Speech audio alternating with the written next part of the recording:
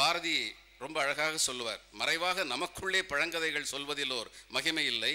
திறமான புலமையனில் வெளிநாட்டார் அதை வணக்கம் செயல் வேண்டும் என்று கூறுவார்.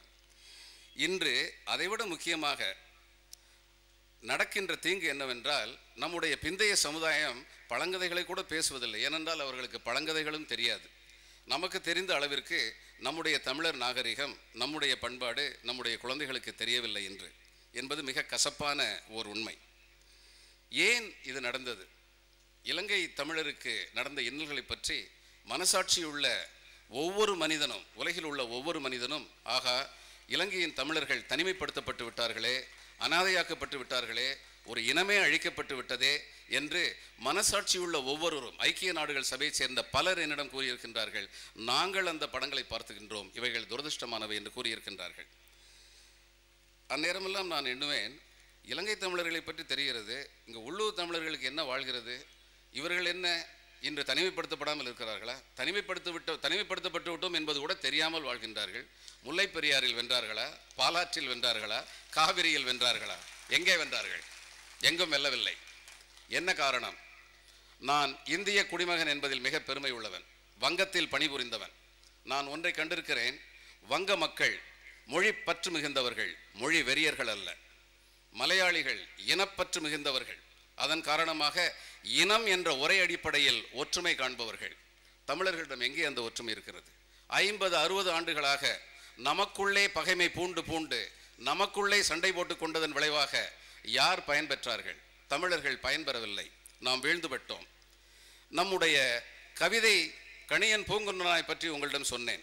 நம்முடைய கவிதை சிறப்பு ஒரு மொழியுடைய ஒரு இனத்துடைய ஒரு நாட்டுடைய சிறப்பு கலாச்சார சிறப்பு அதன் இலக்கியங்கள் மூலம் பரிணமிக்கின்றன. திரு ஸ்டாலின் குணசேகரன் அவர்கள் ஆற்றும் பணி மிக பெரும் பணி. ஏனென்றால் அந்த காலம் கடந்த இலக்கியங்களை காலத்திற்கு முற்பட்ட இலக்கியங்களிலிருந்து இன்றைய இலக்கியங்கள் வரை நீங்கள் காண்பதற்கும் வாங்குவதற்கும் இந்த புத்தக கண்காட்சி வழிவகுத்து கொடுத்து கொண்டிருக்கிற- கொண்டிருக்கின்றது. நம்முடைய கவிஞர்களை மட்டும் பார்ப்போம். மற்ற இலக்கியவாதிகளை பின்னால் பார்ப்போம். கணியன் பூங்குன்னனாருக்கு பின்னால் தொல்காப்பியத்துக்கு பின்னால் தொல்காப்பியத்தில் பஞ்சபூதங்களை பற்றி அவர் பாடி வைத்திருக்கிறார். நிலம் தீ நீர் வழி விசும்போடைந்தும் கலந்த மயக்கம் உலகமாதலின் என்று தொல்காப்பிய சூத்திரம் சொல்லும். எத்தனையோ கருத்துக்களை கூறிய அந்த மாபெரும் புலவர் அடிக்கடி என்ன சொல்லுவார்? என்மனார் புலவர் என்மனார் சான்றோர் என்று சொல்வார். அப்படியெல்லாம் மூத்த மூத்த- மூத்தவங்க சொல்லுவாங்க. அப்படியெல்லாம் எனக்கு முந்தின அறிஞர்கள் சொல்லுவாங்க அப்படின்னு பணிவோடு சொல்வார். அடுத்து கணியன் பூங்குன்றன் காலத்தில் சங்க காலத்தில் பார்த்தோம் என்றால் இவர்களுடைய வாழ்வு முறை எவ்வாறு இருந்தது? இவர்களுடைய வாழ்வு முறை அனைவரும் சமம் என்ற அடிப்படையில் இருந்தது. அதன் பின்னால் நாம் பார்த்தோம் என்றால் இன்று வரை பார்த்தோம் என்றால் எனக்கு பல சமயங்களில் உள்ளூர வேதனை கலந்த நகைப்பு வரும். நம்மில் எத்தனை பேருக்கு தெரியும் நம் தமிழகத்தின் வரலாறு சரியாக எழுதப்படவில்லை என்று? நாமெல்லாம் சிறு குழந்தைகளாக இருந்த பொழுது களப்பிரர் ஆட்சி இருண்ட காலம் என்று படித்தோமே அது உண்மையா? களப்பிற காலத்தில்தான் இந்த நாட்டில் சமண மதம் தலைதூக்கி நின்றது. சமணர்கள் தான் இந்த நாட்டில் நீதி நெறிமுறை நூல்களை எழுதினார்கள். இன்னா நாற்பது இணைவை நாற்பது நாலடியார் திருக்குறள் போன்ற நூல்கள் துவங்கிய எழுதப்பட்ட காலம் இருண்ட காலமாக இருக்க முடியுமா? ஆனால் நாம் அவைகளை ஏற்றுக்கொண்டிருக்கின்றோம். நாம் அவைகளை என்றுமே வினாக்களுக்கு உட்படுத்த உட்ப உட்படுத்தியதில்லை. ஏனென்றால் நம்மிடையே தோன்றிய சமய வேறுபாடுகள் யார் வென்றார்களோ அந்த சமயத்தின் அடிப்படையில் இந்த நாட்டின் வரலாறு எழுதப்பட்டது. கல்கி கிருஷ்ணமூர்த்தி மிகச்சிறந்த நாவலாசிரியர் உலகின் தலைசிறந்த நாவலாசிரியர்களில் ஒருவர். அவருடைய எல்லா நாவல்களையும் நான் விரும்பி படித்திருக்கின்றேன்.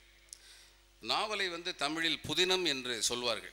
இதெல்லாம் நம்முடைய அரைகுறை அறிவுக்கு ஒரு எடுத்துக்காட்டு. ஏனென்றால் நாவல் என்பதற்கு புதுமை என்று ஒரு பொருள் ஆங்கிலத்தில் உண்டு என்பதனால் நம்முடைய மொழிபெயர்ப்பாளர்கள் அதற்கு புதுமை புதினம் என்று பெயர் வைத்தார்கள். ஆனால் நாவல் என்பதன் அடிச்சொல் நாவலோ என்ற இ- இத்தாலிய மொழியிலிருந்து வந்தது. அதற்கு பெயர் நெடுங்கதை. ஆனால் நாம் புதினம் என்றுதான் இன்று வரை கூறிக்கொண்டிருக்கின்றோம் இது எப்பொருள் யார் யாருவாய் கேட்பினும் அப்பொருள் மெய்ப்பொருள் காண்பதெரிது என்று சொல்ல வள்ளுவனை அவமானப்படுத்தும் கதையாகும். இப்படி நம்முடைய குறைகள் எத்தனையோ இருக்கின்றன ஏராளமாக இருக்கின்றன. கல்கி அவர்கள் எழுதிய இந்த க- நாவல்கள் எல்லாவற்றிலுமே அடிநேராக அடிவேராக ஒரு கருத்து இருக்கின்றது. சைவ வண வைணவ சமயங்களை தூக்கி பிடித்து சமண புத்த சமயங்களை தாழ்த்தி தூக்குவது என்பது அந்த எல்லா நாவல்களிலும் இருக்கிறது. இதை நம்மில் எத்தனை பேர் படித்து உணர்ந்திருக்கின்றோம். இந்த நாட்டில் தான் சமய நெறிமுறைகளை பற்றி கவலைப்படாமல் மழிப்பதும் நீட்டதும் வேண்டாம் உலகம் பழிப்பது ஒழித்துவிடும் என்று பாடிய வள்ளுவர் வாழ்ந்த நாடு இது. நாம் எந்த ஒரு நாவலையாவது இத்தகைய திறனாய்வு கண்ணோட்டத்தில் பார்த்திருக்கின்றோமா? பாண்டியன் நெடுமாறன் காலத்தில் கூன் பாண்டியன் என்று அழைக்கப்பட்ட சமண மதத்தை சார்ந்தவனாக இருந்த பாண்டியன் சைவ சமயத்திற்கு மாறிய பொழுது ஆறாயிரம் சமணர்களை கழுவிலேற்றியதை பற்றி நாங்களெல்லாம் சிறுபிள்ளைகளாக இருந்த பொழுது நூல்கள் பெருமையாக எழுதியிருக்கின்றன. இந்த நாடு சைவத்திற்கு மாறிவிட்டது. சமணர்கள் கழுவேற்றப்பட்டார்கள் என்று. இதைவிட ஒரு ஜெனோசைடு உண்டா? இதைவிட ஒரு இனக்கொலை உண்டா? ஆனால் இதை பற்றி நம்முடைய நெஞ்சங்கள் என்றையாவது நம்மை தாக்கி இருக்கின்றனவா நம்முடைய வரலாறு சரியான வரலாறு முறையான வரலாறு நம்மால் எழுதப்படவில்லை. அதன் காரணமாக அதன் தாக்கம் நம்முடைய இலக்கியங்களில் நம்முடைய வாழ்வு முறைகளில் இருந்தது. சங்க காலத்திற்கு பின்னால் நம்மிடையே பல புலவர்கள் வந்தார்கள். பாரதி சொன்னான் யாமறிந்த புலவரிலே கம்பனை போல் வள்ளுவன் போல் இளங்குவை போல் பூதி பூமிதனில் யாங்கனும் கண்டதில்லை என்று கம்பனுக்கு முதலிடம் கொடுத்தான். வருணனைக்கு பெயர் பெற்ற மாபெரும் புலவன் கம்பன். தண்டலை மயில்களாட தாமரை விளக்கந்தாங்க கொண்டல்கள் முழவினேங்க குவளைகண் விழித்து நோக்க தெண்டிரை எழினி காட்ட தேம்பிழி மகரையாளின் வண்டுகள் இனிது பாட மருதம் வீற்றிருக்கும் மாதோ என்று தன் நாட்டின் வளத்தை பற்றி பாடுவான் கம்பன். ஆனால் இந்த கம்பர் என்ன நீதி நெறிமுறைகளை சொன்னார்? கம்பர் சொன்ன நீதி நெறிமுறைகள் ஒன்றே ஒன்றுதான். ஒழுங்குபடுத்தப்படாத வரைமுறைப்படுத்தப்படாத குண இயல்புகளை சரியாக சித்தரிக்காத ஒரு மூலக்கதையிலிருந்து தமிழர் பண்பாட்டிற்கு தகுந்த அளவிற்கு ஒரு நூலை மாற்றினார் என்பது கம்பர் செய்த மாபெரும் செயல். இதனைத் தவிர ஒரு காவியம் ஒரு காவியம் என்பது பல்வேறு கூறுகளை தன்னுள் கொண்டிருக்க வேண்டும். எந்த எந்த கூறுகளை கொண்டிருக்கின்றது? கம்பன் ராமனை ஒரு ம எல்லா நல்ல குண இயல்களும் படைத்த ஒரு மனிதனாக படைத்ததன் மூலம் அத்தகைய ஒரு மாமனிதனை பின்பற்ற வேண்டும் என்ற அவாவினை வேட்கையினை நம்முள் உண்டாக்கினான். ராமன் காட்டுக்கு சொல்லும் பொழுது க- வை கைகையை ராமனிடம் சொல்லுவாள் ஆழிசூழ் உலகெல்லாம் பரதனே ஆழ நீ போய் தாளிரும் சடைகள் தாங்கி தாங்கரும் தவமேல் கொண்டு பூழிவெங்கானனண்ணி புண்ணிய துறைகளாடி ஏழிரண்டு ஆண்டின் வா என்று இயம்பினன் அரசன். பதினாலு வருஷம் கழிச்சு அதுக்கப்புறம் நீ திரும்பி வா. ஏன்னா பன்னெண்டு வருஷம் கழிச்சு அரசுரிமை கிடையாது. கைகையை விட பெரிய லாயர் அந்த காலத்தில் யாருமே இருந்திருக்க முடியாது. சட்டப்படி இவனுக்கு அரசுரிமையை காலி பண்ணிடணும். அப்படின்னு சொல்லி அந்த அம்மா இந்த ஏற்பாடு பண்ணாங்க. பண்ணிட்டு என்ன சொன்னாங்க? ஏழிரண்டு ஆண்டின் வா என்று இயம்பினன் அரசன் என்றாள். அதுக்கு இவன் சொன்னான் ராமன் சொன்னான் மன்னவன் பணி என்றாகில் நும்பணி மறுப்பனோ? என்னம்மா என்கிட்ட இவ்வளோ கதை விடுற? ராஜா தான் சொல்லணுமா? அப்பா தான் சொல்லணுமா? நீ சொன்னா வேணான்னு சொல்லிடுவனா மன்னவன் பணி என்றாகில் நும்பணி மறுப்பனோ? என் பின்னையேன் பெற்ற செல்வம் அடியனேன் பெற்றதென்றோ? என்னதின் உறுதியப்பால் இப்பணி தலைமையில் கொண்டேன்.